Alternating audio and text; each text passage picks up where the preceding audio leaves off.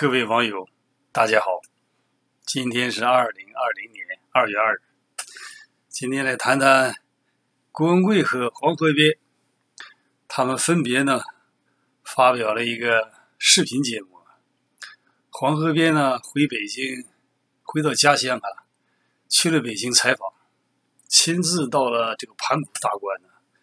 也就是郭文贵的这个发迹之地。那么采访了这个七星级酒店呢，保安哈和一些服务人员呢，也呢对那路过身边的老百姓啊，普通的北京市民进行了即时采访，问他们认不认识郭文贵啊？结果人家都都说不认识啊，这真有意思。那么这个黄河边这个。这个视频节目呢，有这样一个截图哈，这是盘古大观楼下的一个服务员呐，工作人员啊，西装革履的，还戴着口罩，可见北京现在对这个防疫啊搞得挺紧张啊。这位年轻人算是小鲜肉了，肯定是比较潇洒，但是没有露出这个真面目啊，并不是有意隐隐藏啊，而是因为什么呢？现在特殊的时期啊。那么据他讲呢，他不知道这个老板是叫郭文贵呀。那黄河边之所以搞这么一个节目，主要是为了什么呢？回应这个一些追随这个郭文贵的战友们啊，过去就小叫小蚂蚁，后来叫革命战友。那么这些战友们，这个和郭文贵本人呢都确信，就是所谓的这个爆料革命在国内影响很大呀，很多人都知道啊。那么与此同时，又看到另一个视频节目啊，就是龚贵先生在二月二日发表的啊，在这个马阿拉戈这个这个海湖庄园啊，也就是奥巴马的不，也就是这个川普啊总统的这个这个休假的地方，那么。搞了这个视频节目啊，不仅有这个外景，还有房间呢，总统套房里面的一些情况。那么郭文贵一天搞了三个视频啊，据说是应川普总统的邀请去参加了一次晚宴呢，说是全世界这个数上千人啊，这些大腕儿、这些大款啊，云集到这个地方来，这个一起欢聚一堂啊。那么郭文贵还住到了总统套房啊，还带两个保镖啊。保镖很潇洒，那么这三个视频节目，昨天我都收看了啊，看完之后都已经下半夜了，也非常有兴趣。那么非常显然，就郭文贵是为了回应这黄河边，为了驳斥他啊。那么我给大家看看，是这个视频节目啊。那郭文贵还穿上了睡衣啊，这个高调的这个再次这个炫富啊，炫富的这个原因就是因为什么？要回击这个黄河边。你不要说这个盘古大观，这个保安呐，还是人员不认识我。虽然盘古大观被共产党没收了，没收的价值呢，应该讲是上千亿了啊，这是一笔惊人的数字啊。也就是说，在国内这些财富啊，已经是可以这样讲，也是已经是昨日黄花了。那么黄河边的报道当中也讲到了，实地情况已经证明了，就是盘古大观了，现在已经这个。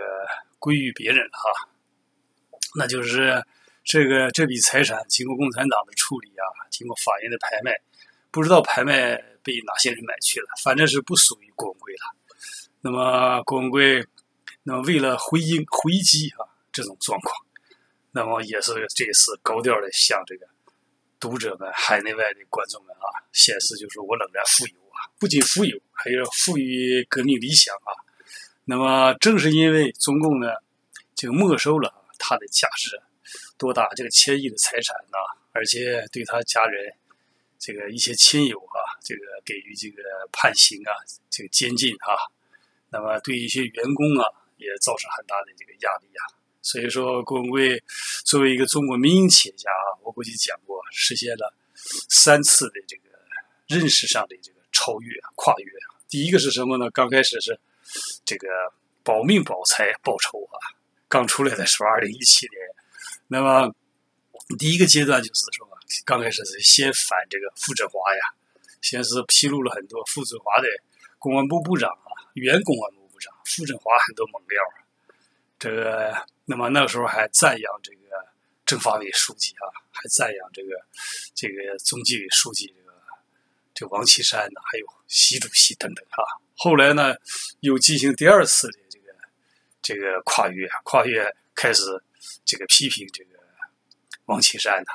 那最后干脆啊，连习近平包括在内，整个共产党都作为一个炮火攻击的一个目标了。这三次跨越表明了一个中国民营企业家走过的思想认识的一个艰难的这样历程啊。民营企业家都是这样啊，因为他的利益在体制内嘛。如果和中共一些高官不好搞搞好关系啊，在国内你要赚钱是很难的，这一点是毋庸置疑的。问题是，他这个没收他这个财产，由于中国他不不没有独立的司法系统啊，这种法庭的审判啊，这个涉及到这么大一个财产不透明啊，这个未必能使人信服啊。所以说，这里的情况都很复杂，很难讲啊，到底都存在什么隐情啊？那么作为郭文贵来讲。那当然，他是肯定作为民营企业家身上这么一块肉啊，而且自己亲手这个呕心沥血啊搞的这么一个项目啊，就盘古这个大官啊。那么我们知道，郭文贵最初是和这个朱时茂啊合作，也就是说他的知名度不够啊，得靠朱和朱时茂帮忙，然后搞了一个公司，申请这么块地皮啊。后来被这个北京市是副市长啊，这个刘自华抢去了。给了自己的情妇啊，但是郭文贵也是非常精明啊，通过运作啊，通过这个共青团派的这个令计划呀、胡锦涛这他们的这个具体的介入啊，还有中纪委的插手，郭文贵也拿出一些证据材料，最后把这个这个利用党内的权力斗争啊，把这个这个北京市副市长刘世华干掉了，然后把盘古大官又失而复得，这个震动了当时北京整个商界。所以说，也是一件了不起的事情。那么现在，公会已经成为了海外啊这个最具影响力的自媒体的一个大佬了。这一点是这个绝对不是夸张啊！本人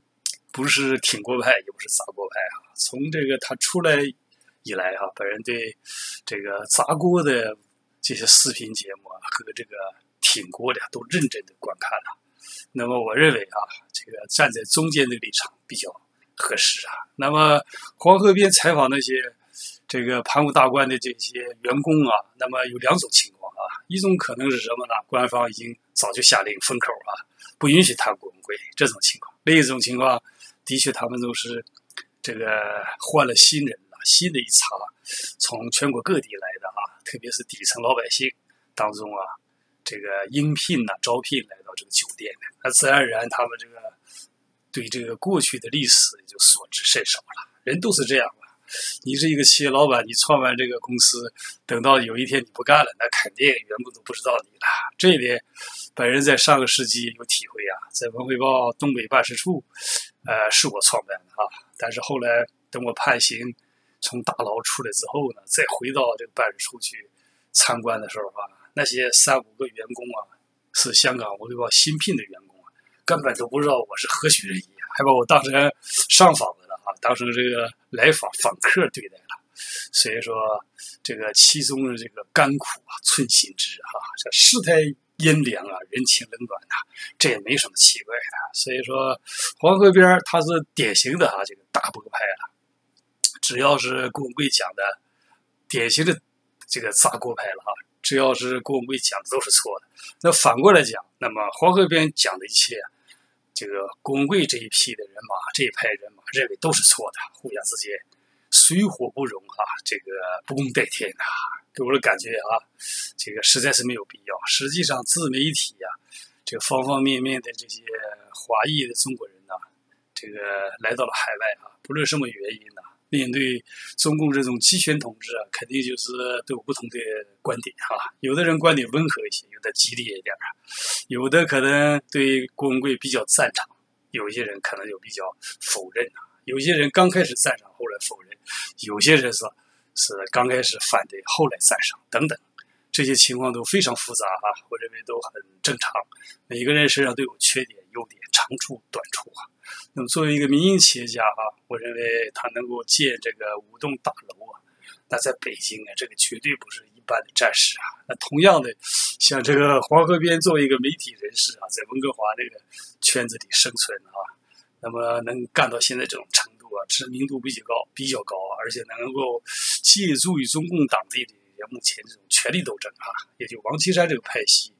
这个掌控着公检法呀。那么，西锅也成了产业，也成了一个通行证了，还可以来来往往的来回走一走啊！我认为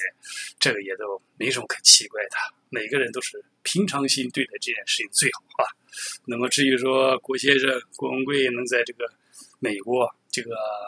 马阿拉格啊这个俱乐部里边作为一个成员呢，这个可见他本身来讲有这个会员证啊，而且这个。能够就和这个美国的主流这些这些政要啊、商人能够有一个通道啊，互相联系啊、交流，这一点也是过去所有的中国民营企业家所仅见的。在这一点上也不容忽视，也不能说他本身就是一个这个是一个大骗子，我认为也不应该这样讲啊。还是他讲的东西，我认为有些是真实的，有些是虚幻的、夸张的，有些是实实在在的。这个击中中共要害的，有一部分也是，这个可以这样讲是，这个内容不是那么实实在在的哈，有很多的细节呀，很多的故事有待于考察呀，用一种非常平等的哈，这个平常心呐、包容心对待黄河边的言论，也对待郭文贵的言论，我认为是最好不过的一个方法。所以说，本人收看了这个郭文贵在这个庄园里面啊，这个高调炫富啊，这个。一些生活场景啊，感到第一点，那肯定人家是非常富有啊，并没有因为北京就没收了千亿的财产，自己就变得这个捉襟见肘，还没有啊。至少从目前看，还是这个这个资金还是比较这个雄厚的啊。那么第二个呢，他本身还是有一些政治理想啊。那么他提出这些目标，应该讲是比较远大的。也就是什么呢？中国这种民族的和平的转型啊，需要很多人的推动。那么有些人可能观点激烈一些，有的温和一些，那么都没有关系啊。只要是大方向，都是什么呢？都是朝着民主的方向这个努力啊，尽自己的一份力量。我认为都是好事啊。不论你成立什么基金会啊，只要你是要终结中共的一党这个专政啊，我认为大方向都值得这个。肯定啊，至于说挺国派也好，砸国派也好，当中啊，每个人身上都有缺点啊，都有优点，有长处啊，和我们本人一样哈，都有很多地方可能是别人感到认同，别人感到或者有些地方别人感到否定的，这些事情啊，都充分表现了人性的一个一个弱点呐。包括他这种在庄园里边高调的炫富的这种方式哈，说心里话哈，我是不是太？赞赏，但是呢，人家用过这个方式啊，来吸引眼球啊，凝聚这些拥护者的这样的团队哈，我认为也是也应当讲是一种非常有一种策略一种有策略的一种表现哈，一般人也做不来啊。那么的确也收到了很多的有效的一些好的效果。你像他现在目前持续了三年的爆料啊，现在已经没什么料可爆了啊。已经变成了一个这样带有这个娱乐色彩、八卦色彩的一个这样一个这个脱口秀了。但是呢，你得承认，他的追随者呀、观众那是超过我们这个每一般的这些自媒体难以想象的这个数量啊！而且它的内容，的确是有很大的这个可读性，让我们看了以后、听了以后啊，觉得这个有的时候觉得特别的有意思，特别可笑，觉得特别的这个有意思啊、有趣儿啊。有的时候又感到哈，并不赞成。但是不管怎么样，围观呢，就对他来讲是一个一种安全啊，是一种啊这个凝聚力啊。所以说，作为一个目前正在办理这个难民身份啊，而且未来的前程未卜啊，得罪了中共高官的一个民营企业家，走到今天，也是一个这样讲吧，在历史上也是鲜见的，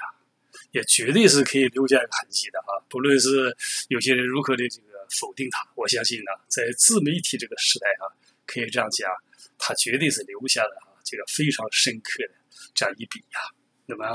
今天的第二次读报点评节目就到此结束了，非常感谢广大网友的收看，谢谢，再见。